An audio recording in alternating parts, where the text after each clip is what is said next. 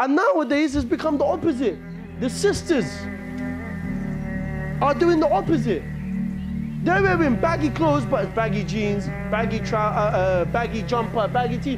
Where's your hijab gone? They think their hijab is just a headscarf. No, bro. Your hijab is everything, bro. Your character, your etiquette, how you speak.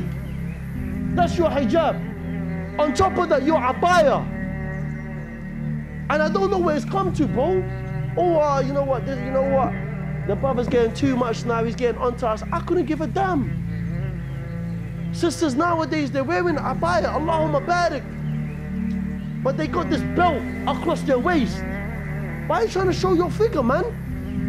A woman that shows her figure would not come 500 years close to uh, Jannah, bro.